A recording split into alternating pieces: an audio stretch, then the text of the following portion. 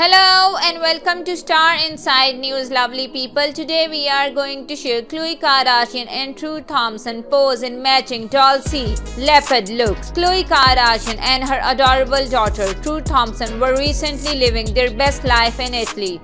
The 39-year-old mother of two has been sharing stunning photos from the vacation on Monday.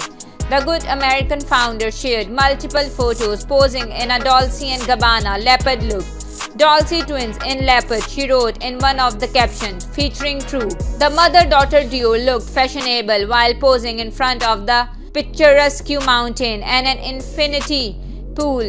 True was rocking her pink cast that she tried to hide in the photos. Coco new blonde look, which she said she isn't fully sold on, looked amazing. The family has been loyal to Dolce and they rocked matching floral looks in photos she published last week. Coco and True were on vacation with Kylie Jenner who celebrated her 26th birthday on August 10. The trip would have been for her birthday as they touched down in Perugia via private jet less than a week later. A source told the sister arrived in two different planes which also brought Jenner friends and former personal assistant Victoria and Carter. It seems Kylie and Travis Scott, two children, Stormi 5 and one-year-old son, Aire, stayed home as they were not photographed leaving the plane.